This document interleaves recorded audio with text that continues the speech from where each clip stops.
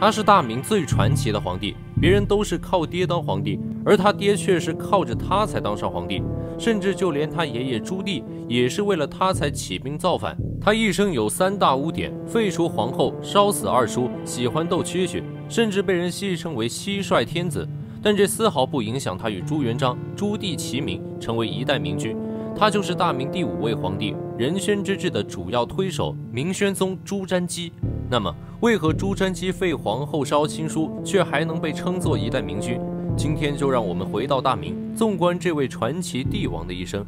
时间来到公元一三九九年三月，此时距离大明开国皇帝朱元璋病逝还不到一年，朱允文便已干掉了四位藩王。朱棣已经有了反抗的想法，可惜刀不锋利马太瘦，他还不敢和朱允文斗。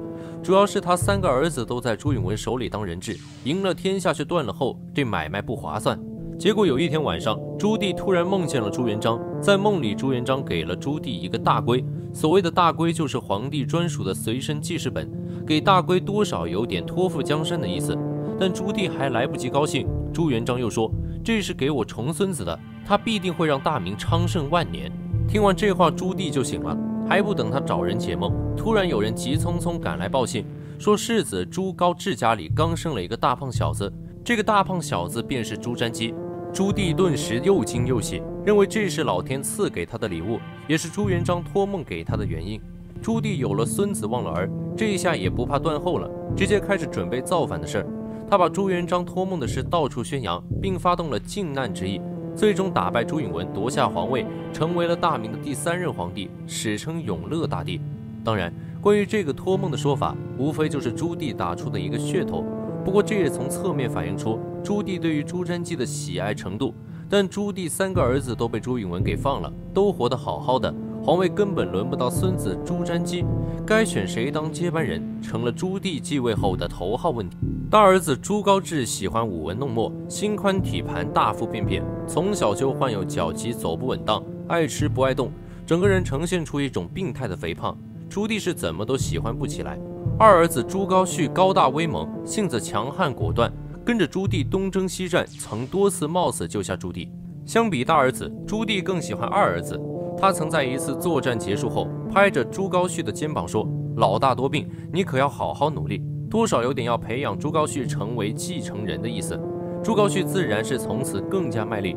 结果等到朱棣当上皇帝，犹豫选谁的时候，力挺大儿子的谢晋跳了出来，问朱棣：“难道忘了他最宠爱的大孙子朱瞻基了吗？”朱棣恍然醒悟，立刻拉着脸宣布册封大儿子朱高炽为皇太子。又满心欢喜地册封朱瞻基为皇太孙。换句话说，要不是中间隔着个朱高炽，朱棣都恨不得直接立朱瞻基当接班人。而满怀希望等着接班的朱高煦，一脸蒙圈的被册封为汉王，还被丢到云南，彻底跟皇位说拜拜，像极了被领导画大饼的老员工，跟着领导拼死拼活把公司撑起来，结果领导转眼就提拔新来的，只因为人家儿子是区长。朱高煦对朱高炽、朱瞻基父子俩那叫一个恨之入骨，便暗中招兵买马，打算效仿朱棣，亲爹不给，他就自己动手抢。镜头来到另一边，虽然朱高炽当上了太子，但朱棣依旧不待见他，反而是整日将朱瞻基带在身边，锻炼他的能力。这就是俗称的隔代亲。文化方面，朱棣将当时最好的学士召集进宫，教授朱瞻基百家思想、治国之道。朱瞻基虽不说过目不忘，一教就会，但也算得上聪明机灵。加之本身刻苦努力，除了那些学问底蕴之外，就连琴棋书画都不在话下。军事方面，朱棣亲自带着朱瞻基巡行边疆，四处征战，让朱瞻基从最底层的小兵做起，从战场上厮杀到排兵布阵，全方面的学习为将之道。时不时还会让朱瞻基亲身体会百姓的生活之苦。日积月累之下。朱瞻基的武德足以媲美在战争中成长的朱元璋和朱棣，这些非比寻常的磨练，让朱瞻基的眼界和魄力都要高出常人。因为常伴朱棣左右，朱瞻基的性格也深受朱棣影响，刚直果断，配合上文武双全的能力，朱瞻基可谓是一名全面发展的六边形战士。朱棣对这个大孙子也是愈加的喜爱，在爷孙俩的全力配合下，朱高炽的太子之位做得无比稳当。来自朱高煦与大臣们的刁难与排挤都被一一化解。那么朱棣走后，朱瞻基还能顶住来自叔叔的压力吗？怎么不能不老实的直接做成瓦罐焖鸡？点个关注，咱们接着瞧。朱高煦到底做了什么，竟会被侄子朱瞻基做成瓦罐焖鸡，活活烤死？明成祖朱棣病逝后，大胖小子朱高炽顺利继位。当时朱高煦厉兵秣马，造反之意已经是人尽皆知，但朱高炽依旧十分厚待这位弟弟，还封赏了几位侄子，向朱高煦示好。可朱高炽的仁慈并没有让朱高煦有所收敛，朱高煦仍在寻找机会，准备效仿朱棣造反。朱高炽体胖多病，在位还不满一年就驾鹤西去了，重任就落在了朱瞻基的肩上。当时朱瞻基正在南京准备迁都的事情，需要回北京完成登基仪式。朱高煦认为此时正是出手的最佳时机，便派出死士在返京路上层层设伏，准备刺杀朱瞻基，夺取皇位。早在朱高炽还在位的时候，朱瞻基就已经和二叔朱高煦明里暗里争斗了无数次。这次更是早就算准二叔会趁机出手，便抄了小路提前返京，继承了皇位。朱瞻基登上皇位后，同样厚待了两位叔叔。无论朱高煦提出多么不合理的要求，朱瞻基都尽可能的答应下来，向叔叔们展示诚意。但是在朱高煦看来，这是侄子朱瞻基软弱可欺的表现。他要的可不是高官俸禄，而是皇位。朱高煦的反意是越来越浓，行为也愈加放肆。在朱瞻基继位一年之后，朱高煦终于忍不住了，打着和朱棣一样清君侧的名义起兵造反。结果朱棣打了四年打赢了，朱高煦打了二十天就输得一塌糊涂。朱瞻基深知朱高煦的性格，猜出对方是想相仿朱棣。趁自己立足未稳，威逼利诱让领兵将领臣服。朱瞻基识破对方诡计，便御驾亲征。不过众臣劝阻，直接带领大军长驱直入。果然不出所料，朱高煦一听朱瞻基御驾亲征，便缩在城中，不敢与之交战。朱瞻基便令弓箭手将赦免令射入城内，称只要带着赦免令出城投降，就不追究责任。如果能活捉朱高煦，还另有赏赐。反军瞬间分崩离析，朱高煦无奈只能出城投降。造反时有多轰烈，投降时就有多狼狈。朱瞻基几乎没费一兵一卒就拿下了二叔，并在凯旋的路上顺手搞定了三叔。朱瞻基不想背负杀叔的污名，所以并没有咔嚓两位叔叔，而是将他们贬为百姓，并特意关照了二叔朱高煦，给他戴上了手铐脚链，并令人时刻监视。虽然听起来很惨，但朱瞻基并没有亏待他。天天不用干活，也不用愁吃喝，只要朱高煦老实做人，说不好哪天朱瞻基就给他一笔财产，把他给放了。但谁也没想到的是，朱高煦也是一个狠人。在一次朱瞻基上门探望的时候，他竟然一个扫堂腿，将朱瞻基扳倒在地。得亏地上没有石头子儿啥的，朱瞻基只是摔了一跤，伤害不高，但侮辱性极强。堂堂一国天子，竟被罪人一脚撂倒，朱瞻基这下是真的怒了。直接喊人搬来三百多斤的大铜缸，将朱高煦扣在里面以示惩罚。哪曾想朱高煦就是不肯低头认错，竟顶着铜缸就朝朱瞻基撞去。朱瞻基忍无可忍，令人在铜缸周围生火，将二叔变成了瓦罐焖鸡。咱也说不好这锅到底应该算在谁头上，但朱高煦落得如此下场，完全可以说是咎由自取。朱瞻基接二连三地给他机会，但他丝毫不知道珍惜。而这也成了朱瞻基人生的三大污点之一。朱瞻基另外两个污点分别是废除皇后和蟋蟀天子。朱瞻基的皇后胡氏贤良淑德，是历史少有的仁善皇后。朱棣也正是看中这一点，才决定选她作为皇后，辅佐朱瞻基。但爷爷喜欢的类型，并不代表孙子喜欢。相比胡皇后，朱瞻基更喜欢青梅竹马的孙贵妃。朱瞻基继位之后，也一直心心念念想要立孙氏为皇后。或许正是因为这种意志太过强烈。胡皇后一直没能为朱瞻基生下一个皇子，反倒是孙贵妃生下了一个皇子，这个皇子便是朱祁镇。对于朱瞻基来说，简直是双喜临门，这不就有理由立孙贵妃为皇后了吗？于是朱瞻基便以皇后无子多病为由，改立孙贵妃为皇后。胡氏心灰意冷，就此出家成了净慈法师。胡皇后一向素有贤名，无论是太后还是百姓，都对其喜爱，拥戴有加。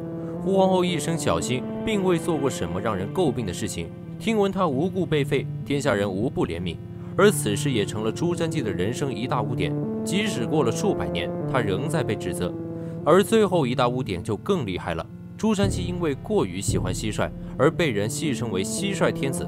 他到底有多会玩呢？宝马换蟋蟀，你换不换？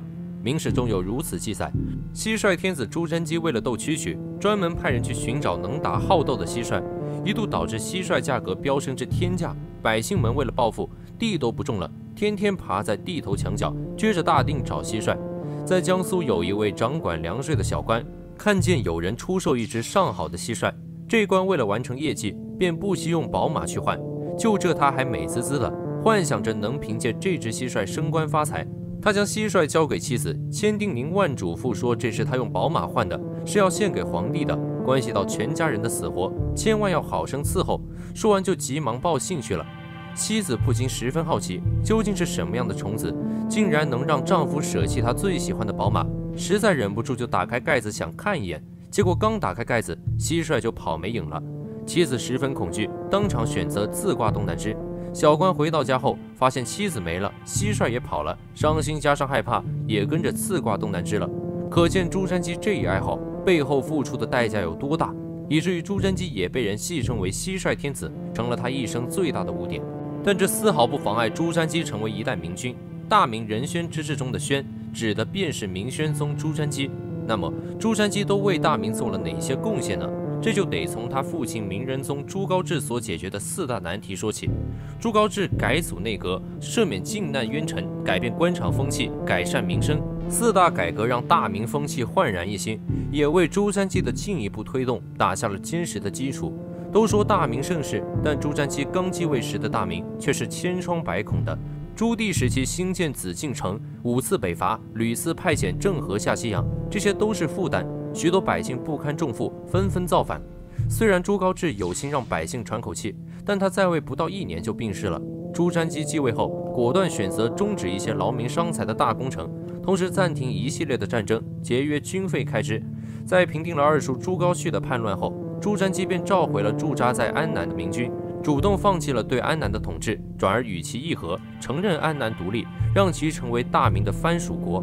这一举措虽然放弃了好不容易打下的领土，有损国威，但大明驻军安南二十多年，一直在镇压安南的反抗。大明为此投入了无数的人力、物力、财力，却丝毫看不到平复反抗的希望。与其坚持徒劳无功的消耗，倒不如尽早脱离战争泥潭，让百姓休养生息，恢复国力。同时，朱瞻基实施救济政策，大幅减轻贫苦百姓的负担。让许多在永乐末年背井离乡的难民主动回到了原本的村落，让许多空置的村落重新恢复了生机。在改组内阁和改变官场风气这两方面，朱瞻基进一步完善内阁制度，加强了御史的监察职能，让其可以渗透监察各个领域。同时，将巡抚一职制度化，极大程度地解决地方平级部门之间的互相拖后腿现象。此外，朱瞻基还调整了各地科举考生的录用比例，使之更加公平合理，给官员安排年假，体恤官员。但对于贪官污吏，朱瞻基虽不像朱元璋那样使用雷霆手段，但也绝不心慈手软。当然，人无完人，朱瞻基除了三大污点之外，也为大明埋下了一颗定时炸弹。那就是他设立了专门的机构，让宦官学习知识，并让宦官接触到政治中心的角色环节。亲爹种下的种子，儿子在土木堡遭罪，这也算是朱瞻基的一大败笔吧。总的来说，朱高炽、朱瞻基父子俩在位这段时间，是大明国力最强、政治最清明的时期，既没有来自内部的党争、专权等问题，也没有外部的压力。可惜天妒英才，朱瞻基在位不到十年，也随朱棣朱高炽去了。其实说起来，朱瞻基就像是我们的一生，努力过、奋斗过，也年少轻狂犯过错，只求自己老了回头展望的时候没有后悔。大家对这位蟋蟀天子有什么不同看法呢？欢迎留言讨论。我们下期再见。